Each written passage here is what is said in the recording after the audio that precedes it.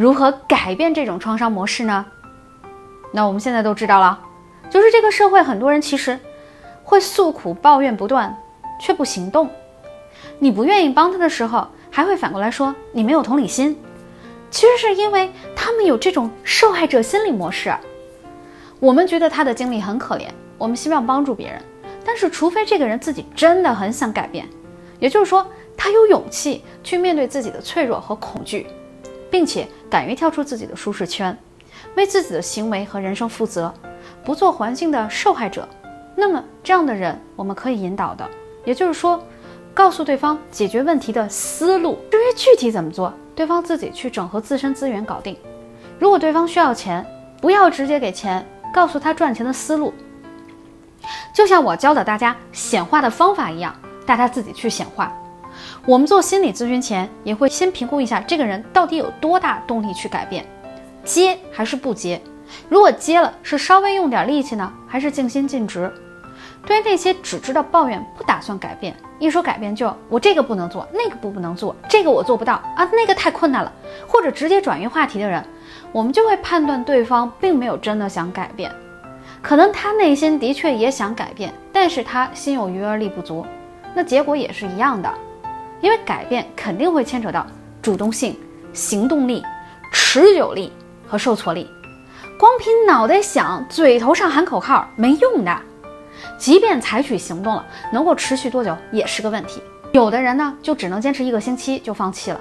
有的人坚持一个月，甚至三个月就不错了。但是我们说的改变，是这个人持续的觉察自己的思想与行为模式，并在意识到问题后，逐渐改变自己的应对模式，直到最终有一天完全改变成新的模式为止。这个才是一个人最终会改变的过程。所以，我们要想改变自己的行为模式和思维模式，也一样。要意识到这个是个长期的螺旋上升的过程，不是一蹴而就就可以的。另外就是我们对于脆弱和受苦认识不足，在一段关系里，谁痛苦谁改变。如果一个人他在这段关系里舒服的很，那他是不会想改变的。你去同理 NPD，他就很舒服，因为他有你这个供给呀，那他怎么会想改变呢？根本不会的。而如果一个人哪怕在不舒服的、不适合自己的环境里，还选择继续待着，只能说啊，他要么害怕被抛弃，导致生存焦虑引发出来的情绪闪回；要么他在这段不舒服的环境里还是有利可图的，导致自己呢会维系一个不安全的安全感而已。无论哪种原因，都不是一个普通人有能力去拯救的，你认同吗？因为这个呢是很深层次的潜意识信念与创伤的问题，除非他主动向外界专业人士求助，否则凭借自己的力量可能很难出来。你表意识告诉他，你不能在那儿待了，不管用。这不同于拯救我们的父母，我们的父母多少还是在意自己的孩子的，虽然他们在意的动机还是为了自身的利益。所以有的时候在某个问题上看似你拯救成功了，可是从整体来看，这段关系的本质依然没变。不信你就去观察你父母的关系模式有彻底改变吗？没有吧，一辈子都这么过来的吧。所以其实你也拯救不了你的父母，看到没？很多时候人需要痛苦到一定程度，才有可能走到破釜沉舟的境地，最终彻底改变。但凡一段关系还能让你有些许好处留恋，你改变的动力都不会很大。所以我们要允许自己所爱的人受苦，也要允许自己在意的人受苦，更要看到导致自己受苦背后的根本原因是什么，才有可能改变这个行为和思维模式。因此，受苦是有意义的，物极必反。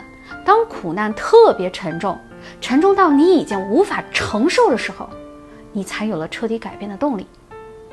接下来，请大家允许自己脆弱。我承认，面对于一个有毒人格，你的确不能展示脆弱给他们，因为你的脆弱只会让他们进一步拿捏你、伤害你，而你的负面情绪更是他们的负向供给。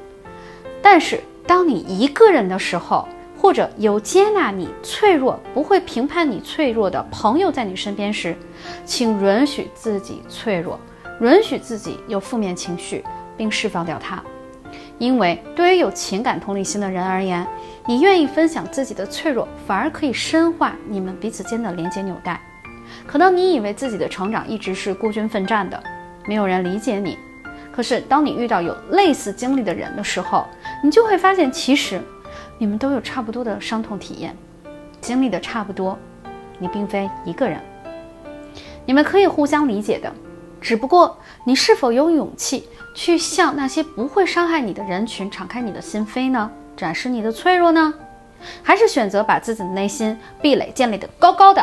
外人不许进啊！里面的城堡却是支离破碎的呢。前者是以信任大部分人是好人，是以爱为基础去建立新的关系；后者以恐惧为基础，认为别人都会伤害自己，而把自己内心封闭的人。你选择做哪一种人呢？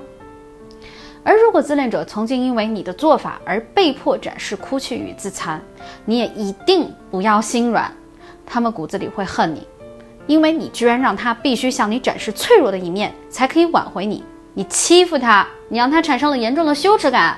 毕竟他认为你会像他之前拿捏你一样拿捏他，所以他并不会因为你的心软与给他机会而感激你。相反，你一旦接受了他，他就会施展报复手段来伤害你，把对你的恨都释放出来。所以不要因为自恋者展示脆弱就心软。最后的重点。我们之所以不敢展示脆弱，也不接纳自己和别人脆弱，是因为害怕自己和自己在意的人受到伤害。可是伤害只有你允许，别人才可以伤害到你。怎么理解？就是别人如果有意来伤害你，你并不认同对方的观点，你也明白对方在投射给你他的情绪和匮乏，以及他无法接纳自己的一面在你身上时，你要意识到卡点在他身上，不在你身上，他都伤害不到你。所以不回应，保持沉默，难受的就是他自己了。这个就是投射性认同的问题。你不认同对方说的，他如何评判你，冲你撒火，你都不回应，不理他，甚至看到问题关键点上直接点出来后不参与了，你就已经和对方划清边界了。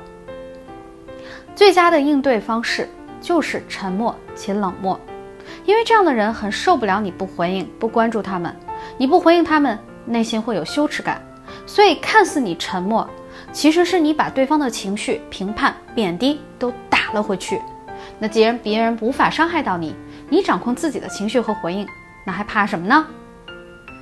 如果您喜欢今天的内容呢，欢迎您点赞、留言、收藏，并开启订阅小铃铛。我们下期见。